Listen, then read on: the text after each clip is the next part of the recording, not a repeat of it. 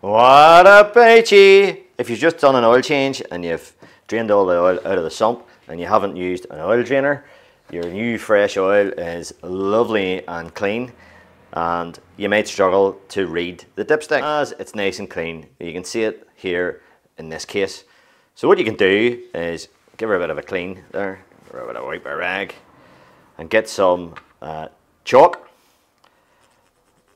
and rub a load of chalk on her there. Don't be scared of putting it on. So this is hard uh, chalk that engineers would mark things with.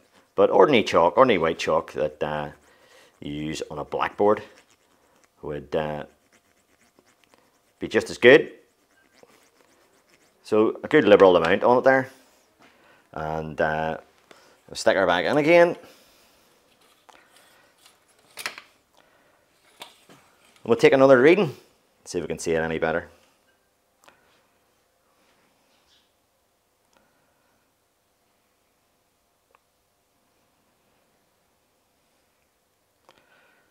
So there we go, easy to read.